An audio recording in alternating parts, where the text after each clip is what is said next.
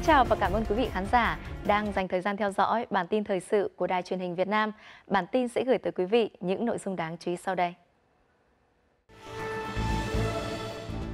Tiếp tục chuyến thăm chính thức Trung Quốc, Chủ tịch Quốc hội Vương Đình Huệ làm việc tại thành phố Thượng Hải với nhiều nội dung quan trọng.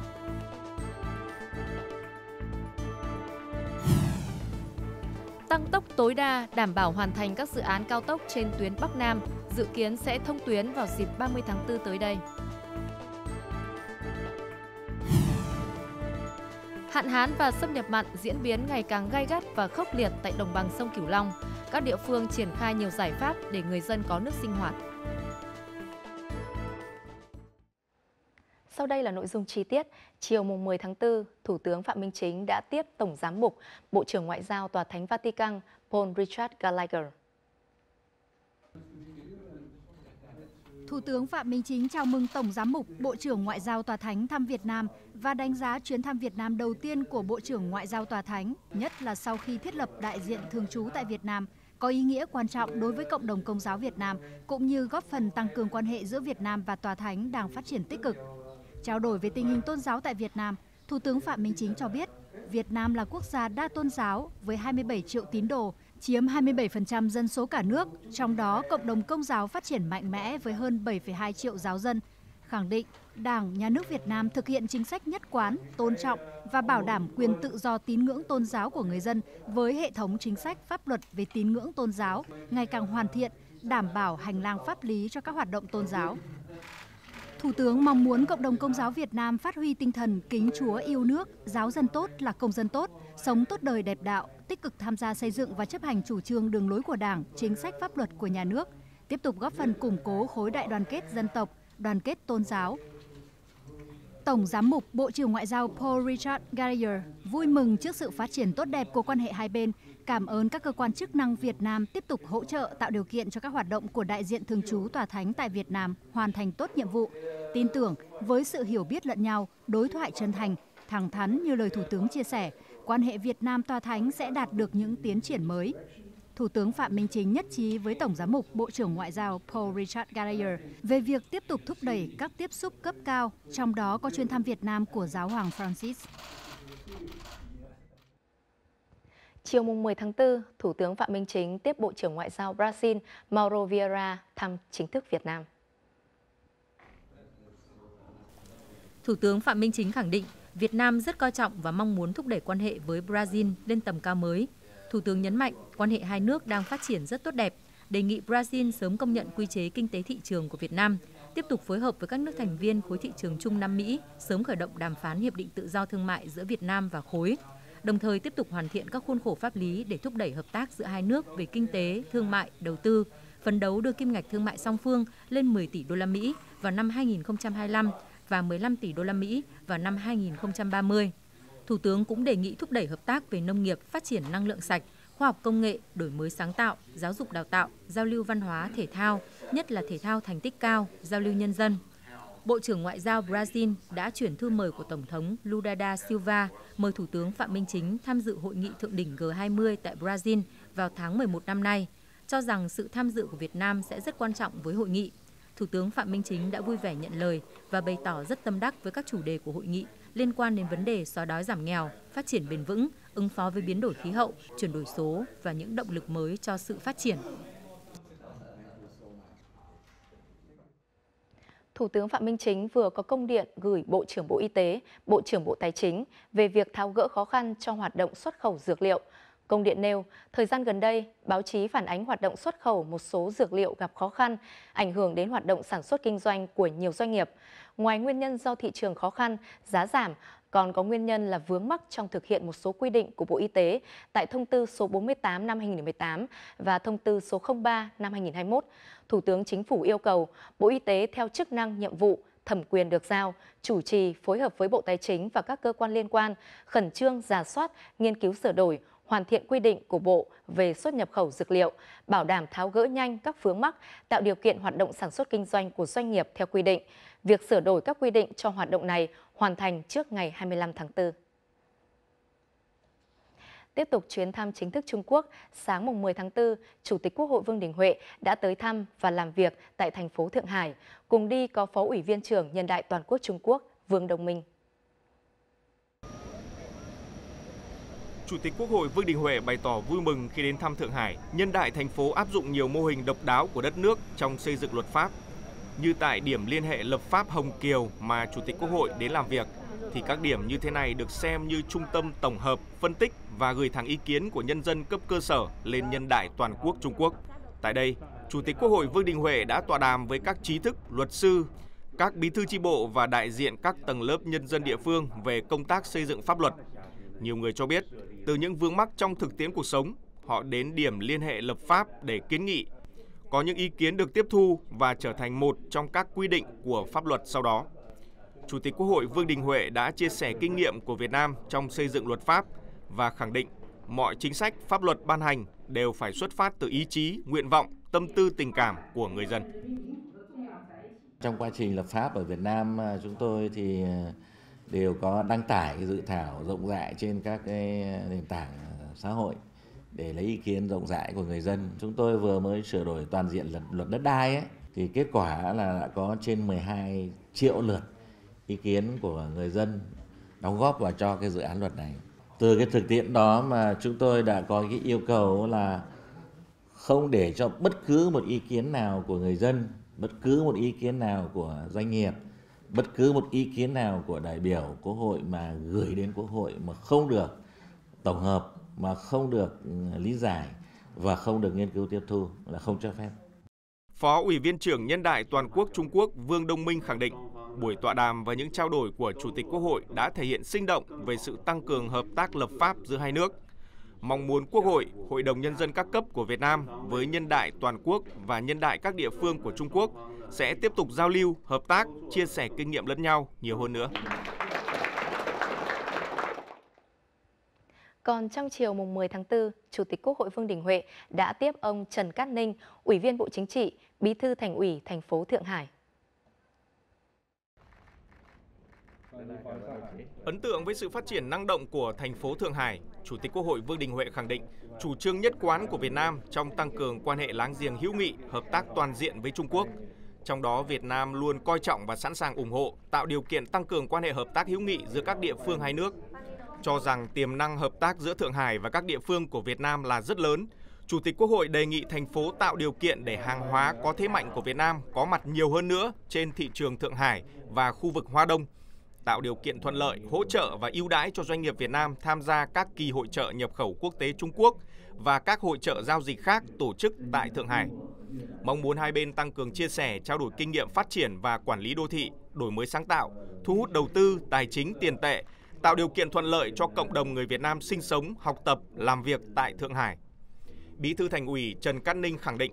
Thượng Hải coi trọng quan hệ hợp tác hữu nghị với các địa phương của Việt Nam, mong muốn cùng với các địa phương của Việt Nam thực hiện tốt nhận thức chung của lãnh đạo cấp cao hai đảng, hai nước.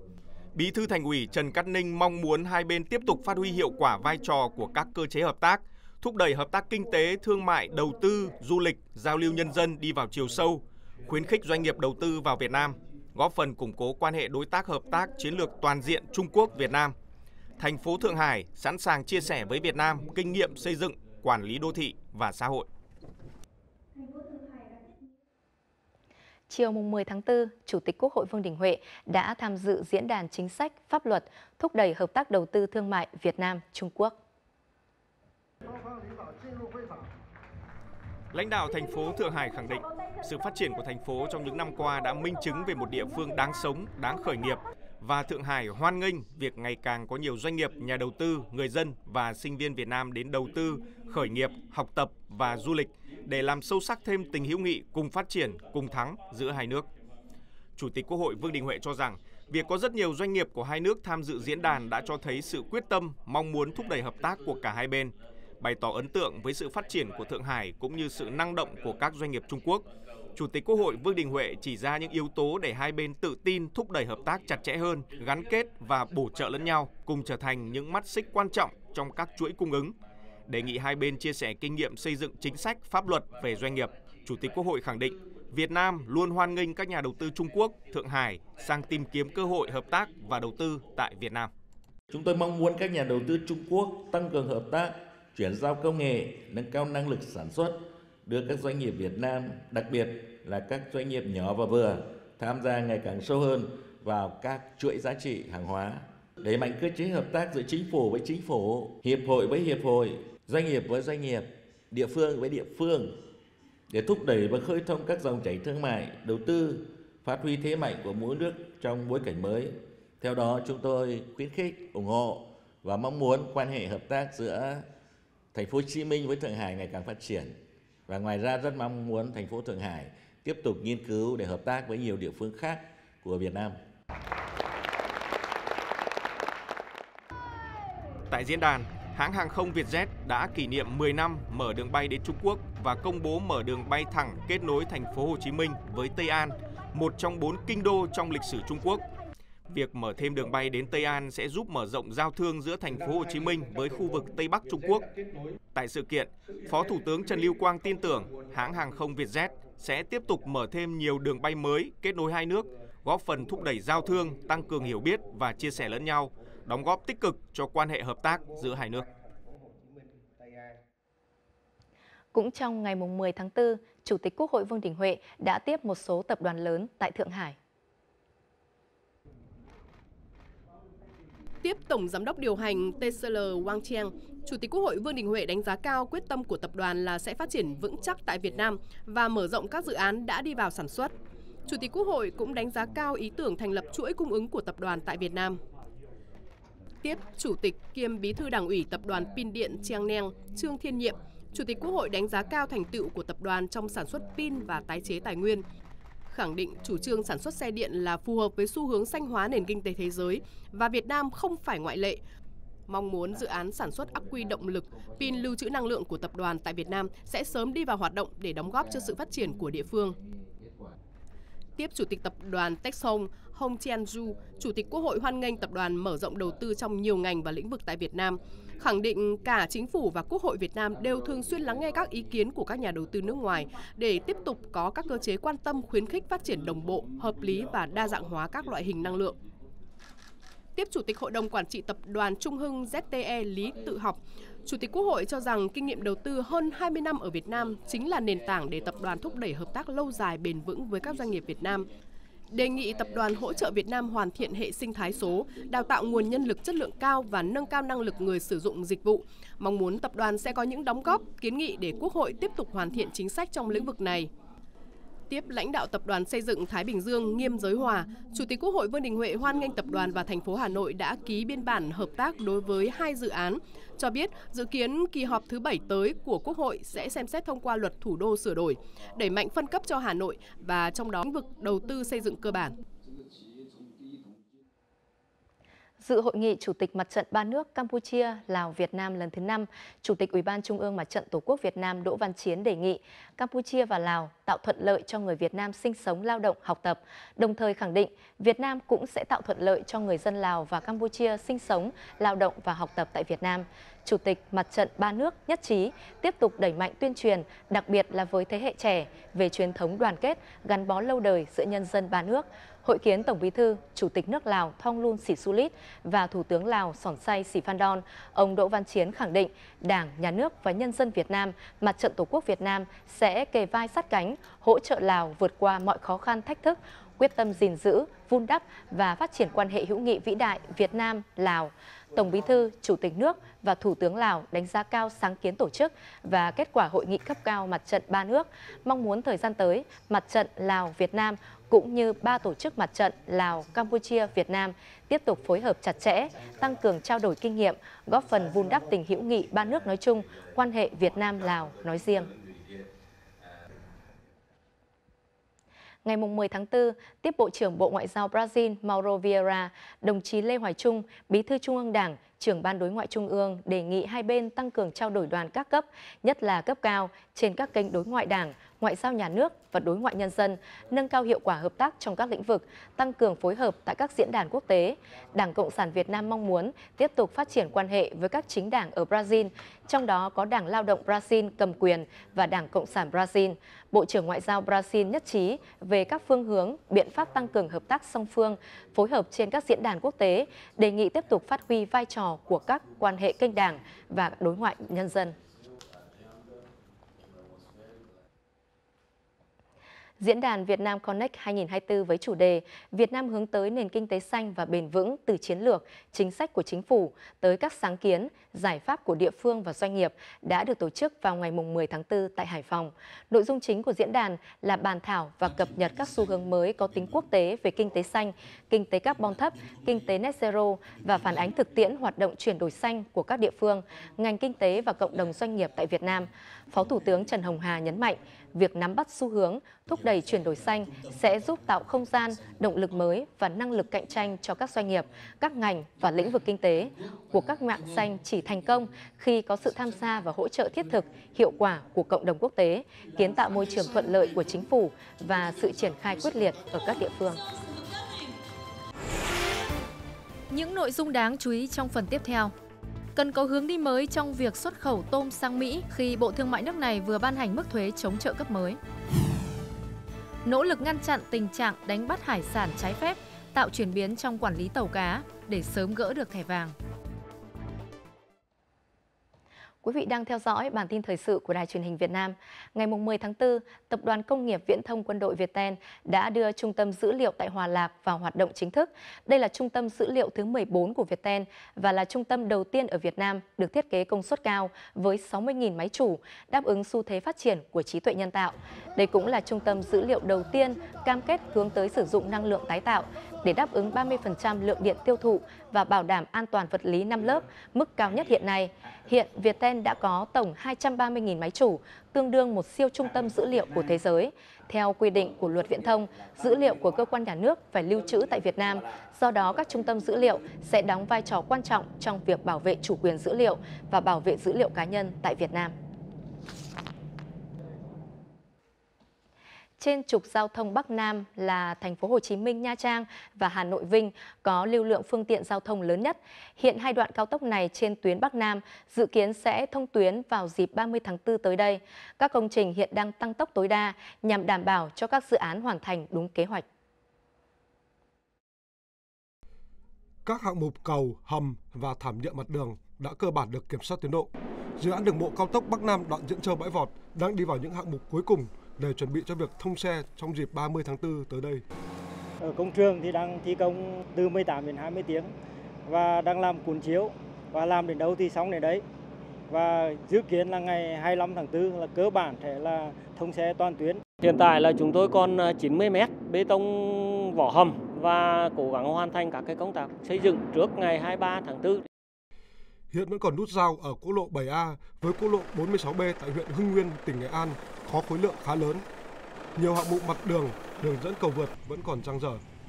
Đây là điểm quyết định đến tiến độ chung của dự án.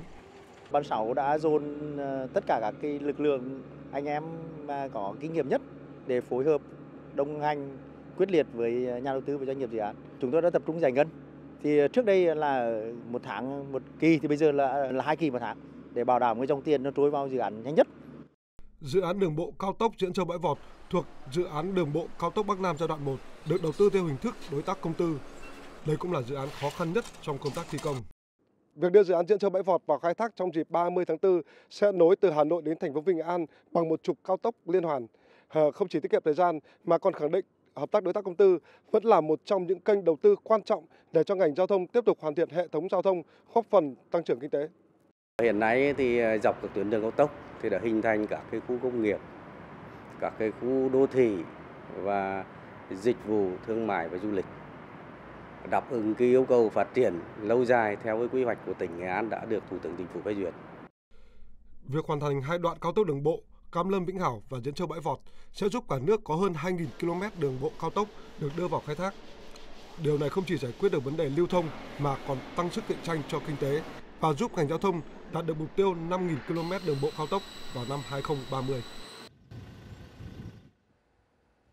Mỹ hiện là thị trường xuất khẩu lớn thứ hai của tôm Việt Nam. Thế nhưng con tôm Việt Nam tại thị trường này đang gặp những trở ngại mới khi Bộ Thương mại Mỹ vừa ban hành mức thuế chống trợ cấp mới. Ghi nhận về vấn đề này của phóng viên thường trú Đài truyền hình Việt Nam tại Mỹ. Trong kết luận sơ bộ mới ban hành, Bộ Thương mại Mỹ xác định mức thuế chống trợ cấp áp dụng cho các doanh nghiệp xuất khẩu tôm của Việt Nam tham gia vụ việc là 2,84%. Mức thuế dành cho một doanh nghiệp xin rút khỏi vụ việc là 196,41%. Theo kết luận này, so với Ấn Độ, Ecuador, mức thuế áp dụng đối với các doanh nghiệp của Việt Nam có phần thấp hơn. Cần phải nhấn mạnh rằng đây mới chỉ là kết luận sơ bộ, mọi việc đều có thể thay đổi ở kết luận cuối cùng khi DOC thẩm tra tại chỗ. Mặc dù kinh mạch xuất khẩu tôm sang ờ, Hoa Kỳ tính đến tháng 3 năm 2024 có dấu hiệu khởi sắc, nhưng với mức thuế sơ bộ ờ, nêu trên thì chúng ta chưa thể lạc quan và yên tâm với triển vọng xuất khẩu tôm trong cả năm 2024. Ờ, phán quyết cuối cùng có thuận lợi hay không hoàn toàn phụ thuộc vào sự chuẩn bị của các doanh nghiệp và các cơ quan trong nước cũng như thiện chí của phía Hoa Kỳ. Siêu thị này nhập tôm từ cả Việt Nam, Ấn Độ và Ecuador.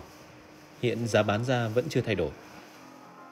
Ngày đầu tiên mà để người ta bắt đầu áp dụng đó sẽ là từ 19 tháng 9 đến ngày 26 tháng 9 2024. Đợt này thì nó cũng giống như những đợt trước, sẽ bị chậm lại trong một vài tháng đầu, rồi sau đó khi mà thị trường nó đi vào quỹ đạo thì nó cũng trở lại cái sự tiêu thụ bình thường.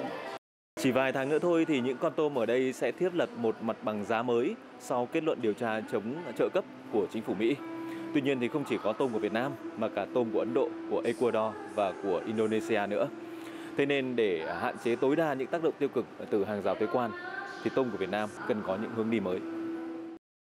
Từ lúc mà Covid đến giờ nhận thấy là các nước khác tôm mang vào Mỹ bán đã với giá rất là rẻ nên là mình phải có cái chiến lược đi mình không thể cạnh tranh được cái giá rẻ với các nước khác như là tôm của Ecuador và tôm của Ấn Độ thì mình đã định hướng phát triển mới là đi vào à, mặt hàng tôm giá trị gia tăng và hàng tôm ờ, sú chất lượng cao thay vì tập trung vào cái hàng uh, truyền thống và từ đó cũng giảm được cái um, rủi ro trong về thuế. Năm ngoái, xuất khẩu tôm sang Mỹ của Việt Nam đạt trên 680 triệu đô la Mỹ. Một số tàu cá còn mất kết nối nhiều giờ và việc xử lý tàu khai thác thủy sản bất hợp pháp ở nhiều nơi chưa thực sự quyết liệt. Đây là những lưu ý của Ủy ban châu Âu sau lần kiểm tra thứ tư vào cuối năm ngoái. Tình hình này đòi hỏi phải có chuyển biến rõ rệt từ các địa phương thì mới có thể sớm gỡ được thẻ vàng. Trong thời gian gần đây, 28 tỉnh thành ven biển đang nỗ lực ngăn chặn tình trạng đánh bắt hải sản trái phép. Từ đầu năm đến nay, Bà Rịa Vũng Tàu đã ra soát cấp sổ để quản lý cho gần 600 tàu, lâu nay được gọi là 30, gồm không đăng ký, không đăng kiểm và không giấy phép khai thác thủy sản. Ví dụ mình đi làm lỡ có công chuyện gì, người ta mới biết tàu của mình. À, chứ hậu đó giờ thì ở đây thì không có bản số. Tại vì ai đóng đóng, ai mua mua. Tỉnh Bà Rịa Vũng Tàu đã là một trong những địa phương có kết quả nổi bật đó là trong 2 năm liền, địa phương không có tàu cá vi phạm bị nước ngoài bắt giữ.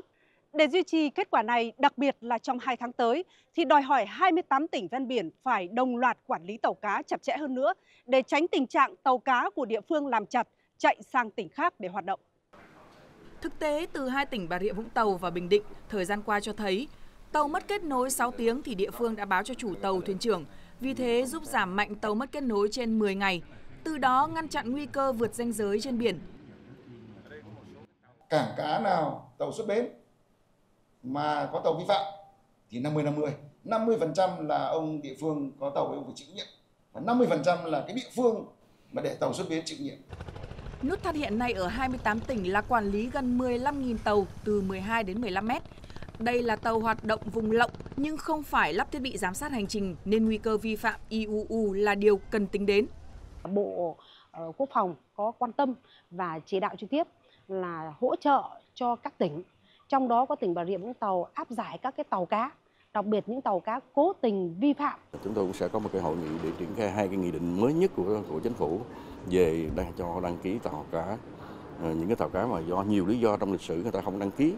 mà những cái tàu mà không đăng ký thì chúng ta không đưa vào cái hệ thống chúng ta để quản lý để giám sát. Không gắn thiết bị hành trình Bộ Nông nghiệp và Phát triển Nông thôn cũng đề xuất cần có sự tham gia của cả hệ thống chính trị các địa phương trong việc ngăn chặn vi phạm IUU và gắn trách nhiệm của người đứng đầu trong việc gỡ thẻ vàng. hơn một tháng còn lại được cho là thời điểm quyết định cho hành trình suốt hơn 6 năm dài bị thẻ vàng IUU siết chặt. Nếu gỡ thẻ vàng thành công, EC sẵn sàng hỗ trợ nguồn lực giúp Việt Nam xây dựng một nền kinh tế biển xanh, minh bạch, có trách nhiệm và bền vững.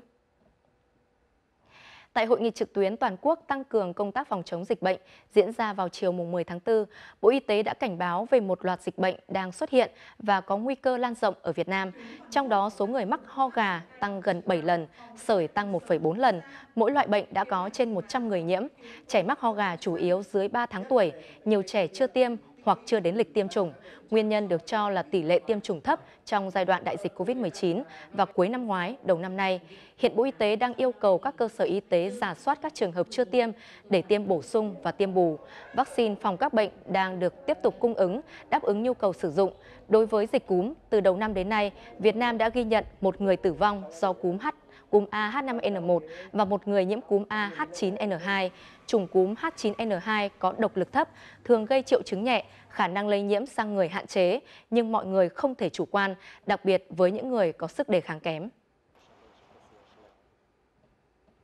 Tại đồng bằng sông Cửu Long, hạn hán và xâm nhập mặn diễn biến ngày càng gai gắt và khốc liệt. Ước tính đang có khoảng 50.000 hộ dân bị thiếu nước sinh hoạt. Hiện các địa phương đang triển khai nhiều giải pháp để người dân có nước sinh hoạt trong mùa khô này.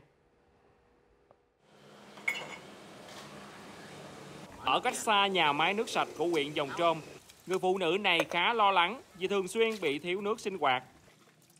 Từ khi các bồn nước sạch được tăng cường tại đây, nỗi lo đó không còn nữa. Chưa có mấy cái bồn thì nước nó yếu không có phi mới có. Còn giờ thì gấp bồn nữa thì nước cũng có mạnh. Hiện thì một cái bồn như thế này chứa khoảng 5 khối nước và các phương tiện tại đây hoạt động gần như liên tục à, để cung cấp nước cho các khu vực bị thiếu cục bộ. À, dưới phương châm là không để hộ dân nào thiếu nước sinh hoạt dùng xa có khả năng yếu thì công ty sẽ chăm nước bổ sung vào thì bình thường thì sáng tầm à, sáng cỡ à, 7 giờ là xe sẽ xuất phát chở đi tới tầm à, 7 mấy 8 giờ tối. Mùa khô năm nay khá gai gắt và dự báo có khoảng 50.000 hộ dân nông thôn ở miền Tây sẽ bị thiếu nước sinh hoạt. Tại nhiều địa phương ven biển, bà con phải mua nước sạch với giá hơn 50.000 đồng trên một khối. Tại Bến Tre, tỉnh này vừa giảm 10% quá đơn tiền nước sinh hoạt cho các hộ dân cư hay phục vụ công cộng trong tháng 4 và tháng 5 của năm nay. Địa phương cũng đã vận hành tới 130 máy lọc nước miễn phí đặt tại nhiều khu vực để phục vụ bà con. Kết nối các cái nhà máy nước với nhau để làm sao cái nhà máy nước ngọt để cung cấp cho các cái nhà máy nước bị nhiễm mặn để có nước ngọt để phục vụ cho dân. Bơm truyền nước ngọt từ ở các cái vùng à, tạo nguồn về phục vụ cho các cái vùng à, ở khu vực mà có khả năng thiếu nước. Về lâu dài, các địa phương kiến nghị chính phủ sớm bố trí nguồn vốn đầu tư, hoàn thiện các cống ngăn mặn, cũng như nâng công suất các nhà máy nước sạch, đặc biệt ở những vùng bị ảnh hưởng nghiêm trọng của hạn mặn. Thông tin vừa rồi cũng đã khép lại bản tin thời sự của chúng tôi ngày hôm nay. Để xem trực tuyến các chương trình của VTV4, quý vị và các bạn có thể truy cập vào địa chỉ website đang hiển thị trên màn hình hoặc là tải ứng dụng VTV Go trên App Store hoặc Google Play. Xin kính chào tạm biệt và hẹn gặp lại quý vị và các bạn trong các bản tin tiếp theo.